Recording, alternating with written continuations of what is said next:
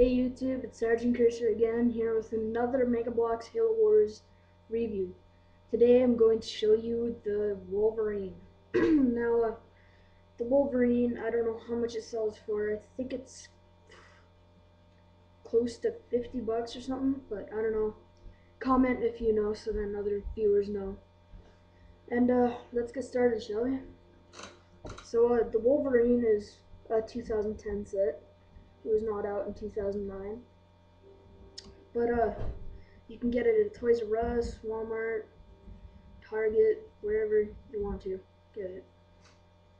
Pretty much. Well, not everywhere, but still, you know what I mean. So, uh, first of all, we have this little missile anti-aircraft launcher right here that actually fires the missiles. In there. There we go.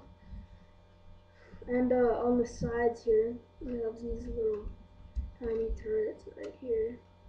And uh, they are supposed to go up and down and 360, but I needed the uh, extra spinny part for my UNSC Falcon, which I will be doing a review about shortly. And uh, this is the Covenant Hunter. Now, everyone should know what a hunter is. So, of course, it has little plasma cannon type launcher here, and then it just little shield that it whacks people with and protects itself from bullets. And it has the little spikes on its back right here, and I think the head is pretty detailed too. So uh, there's the hunter, and it also comes with the UNSC Marine with an assault rifle, but and he goes in here, but I sold it to my friend for quite fair price. So uh, that's pretty much my UNSC Wolverine set. Moves pretty well, I think. Just the little treads here don't move as well as I would like them to.